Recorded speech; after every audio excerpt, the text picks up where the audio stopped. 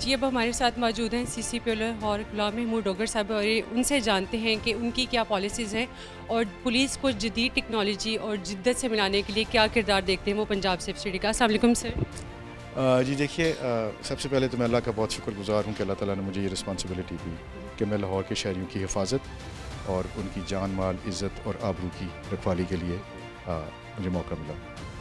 आ, इस अमर को इंश्योर करने के लिए इन ताला we will be utilising old technology और जो भी रिसोर्स लाहौर पुलिस के पास हैं। और पर्टिकुलरली मैं समझता हूँ कि हमारी जो ह्यूमन रिसोर्स है लाहौर पुलिस का जो ख़ास तौर पर लाहौर पुलिस है ये बहुत वाइब्रेंट फोर्स है और इसको आ, आ, इसको यूटिलाइज़ करना है और मोटिवेट करना है ताकि लोगों की मैक्सिमम जो है वो आ, आ, उनके जो प्रॉब्लम्स हैं उनकी रिड्रेसल की जा सके।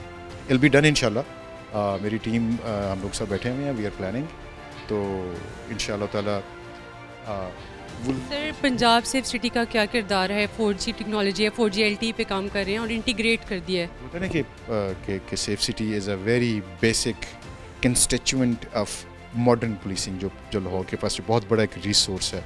तो will definitely be utilising this and will be utilising it to the maximum efficacy इंशाल्लाह और इसकी बड़ी ज़रूरत है।